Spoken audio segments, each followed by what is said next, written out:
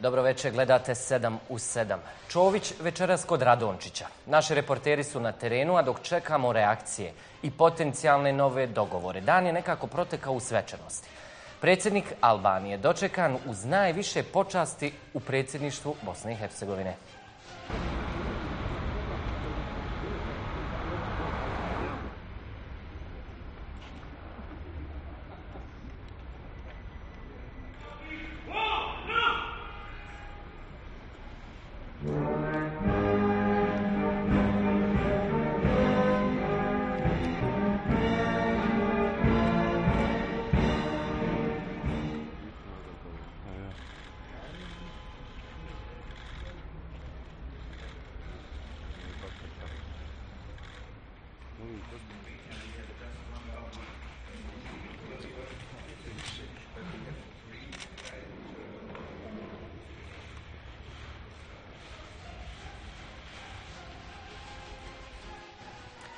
I tako smo vrlo često odsječeni od ostatka svijeta. Ali eto, do Albanije bi se moglo bez vize.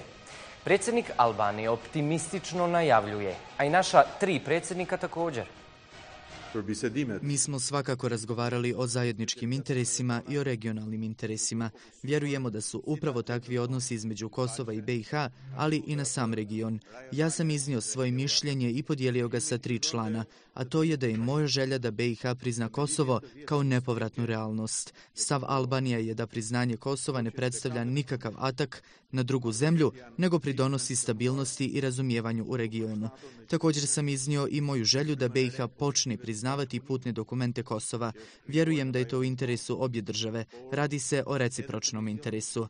Mislim da je ovo pitanje koje nosi humanitarnu dimenziju. Mislim da se odnosi na temeljno ljudsko pravo na slobodu kretanja.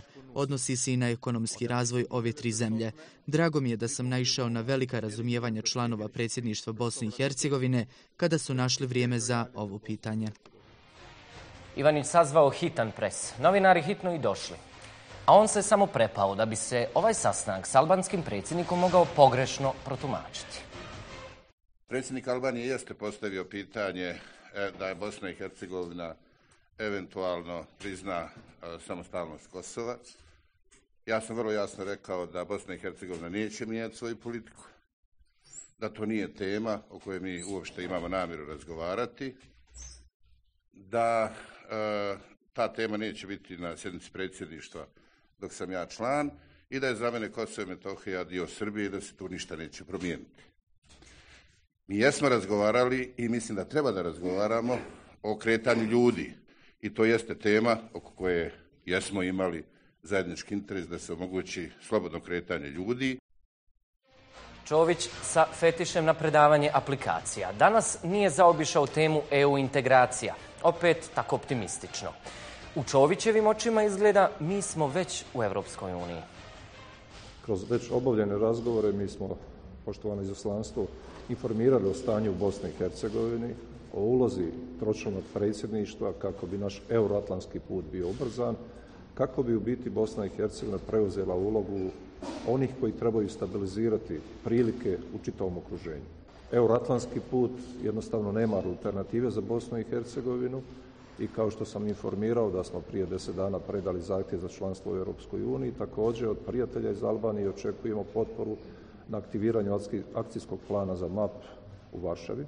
Kada je pitanje vanjska politika, mi želimo sa svojim susjedima napraviti više nego dobre odnose, pokušati to sami uraditi, a tamo gdje ne možemo sami riješiti otvorena pitanja koja još nismo do kraja riješili, prije svega mislim sa Srbijom i Hrvatskom, nastojat ćemo to uraditi u duhu prijateljskih i dobrosusjedskih odnosa i uz pomoć naših partnera iz Europske unije naš ključni ili ja bih rekao povijesni zadatak u Bosni i Hercegovini je danas da se odupremo jednoj entropiji koja nas može zaustaviti u ovim našim planovima, ali isto tako da do kraja damo puni doprinos da za jedno duže vrijeme ispred nas ne razmišljamo o destabilizaciji političkih i svaki drugi prilika u našem regionu. Svi su znali, a znao je i on. Milorad nerado priznaje da zna da se istraga vodi protiv njega. Priznaje i da je RS za očuvanje Bosne i Hercegovine. Snježana je moja supruga Igor je moj sin, Gorica je moja kćerka, a Bogoljub moj otac. Znači, protiv svih tih ljudi pokušava se vršiti haranga. Naravno da to nije jednostavno. Imena moje djece na tim listama za istragu. Otkuda? Kako je to moguće? Kako biste se vi osjećali da vašu porodicu ovako pretresaju? Zamislite, ja mislim da je to najopsežnija istraga koja je ikada vođena protiv nečije porodice u Bosni i Hercegovini. Nemam ja nikakvu potrebu da tražim solidarnost sa sobom ili nešto drugo, ali vam govorim da naravno da čovjeku nije drago da vidi da moja porodica kompletno napadnuta. Znate, imam ja još troje unučadi. Zloupotrebe institucija sigurno će samo umanjiti značaj. Srbi nisu protiv Bosne i Hercegovine. Oni jesu protiv nametnute BiH i to se mora jasno razgraničiti. Ali protiv BiH koja je u Dejtonu postignuta, napisana, može da bude 90% bošnjaka, ali ja vam tvrdim da je 90% Srba za BiH napisano u Dejtonu. Negdje neku sredinu možete naći. To sigurno nije međunarodna uprava. Čini se da bi oko 20 uposlenika SIPE moglo na suspenziju. Mahom su to ljudi kojima je Goran Zubac, bivši direktor SIPE, pozicije dijelio i kapom i šakom. Direktor SIPE Perica Stanić čini se mora suspendovati 17 svojih uposlenika protiv kojih je podnesena krivična prijava u tužilaštvo Bosne i Hercegovine, a među njima i svoga zamjenika Đuru Kneževića. Nezvanično je da je pitanje momenta kada će se ovo dogoditi. Istraga tužilaštva se tiče zlopotrebe službenog automobila, nezakonitih premještaja nepodobnih, raspoređivanje policijskih službenika na poslove uposlenika, protivzakonita upotreba sredstava prinude i nezakonita lišenja slobode, davanje lažnih podataka operativnom centru Ministarstva sigurnosti za vrijeme poplava, podjela uniformi SIPE raznim neovlaštenim licima. Za više krivičnih dijela, osim bivšeg direktora Gorana Zupsa, prijavljeni su Đuro Knežević, zamjenik i pomoćnik direktora SIPE, Jasmin Gogić, načelnik finansijsko-obavještajnog odjeljenja, Duško Drljača, predsjednik Komisije za unapređenje policijskih službenika, Ivica Divković, načelnik Centra za istraživanje ratnih zločina, Mario Kapetanović, član Komisije za unapređenje policijskih službenika, Halida Pašalić, član Komisije za unapređenje policijskih službenika, Slađenko Kočerkez, vodeći istražilac ocijeka za sprečavanje i otkrivanje organiziranog kriminala, Dalibor Milošević, pomoćnik komandanta za obuku jedinice za specijalne operacije, Jovica Mirosavljević, pomoćnik komandanta za operacije bezbjednosti podršku jedinice za specijalne operacije, Ljubiša Pandurević, šef kriminalističko-istražnog ocijeka u regionalnoj kancelariji SIPE u Banja Luci.